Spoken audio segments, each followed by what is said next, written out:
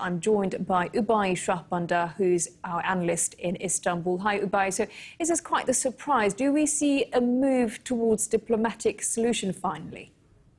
Well, Aisha, this meeting is very interesting. This is the first time that the remaining signatories to the Iranian nuclear deal, following the American pullout, and Iran are meeting all in the same place.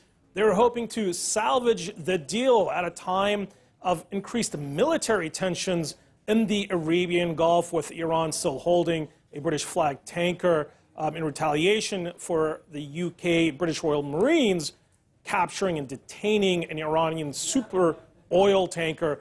What's interesting here is that Iran's main demands of the European Union signatories, China and Russia, is for to drop the sanctions or to at least lessen the, uh, the degree of sanctions that have proven to be crippling to Iran's economy, significantly damaging its ability to export oil throughout the world, which is the main source of income for Iran and for the government in Tehran. Of course, these sanctions have been imposed in conjunction and in compliance with President Trump's maximum pressure campaign meant to significantly derive, uh, deprive Iran from exporting its oil to key European markets companies in the European Union have pulled out of businesses or stopped business deals with Iran, and Iran is looking for some sort of response from the remaining signatories to enable it to lessen the uh, damage of these, uh, of these sanctions. But you can't really disaggregate the nuclear deal with the ongoing tensions in the Arabian Gulf. We heard from the UK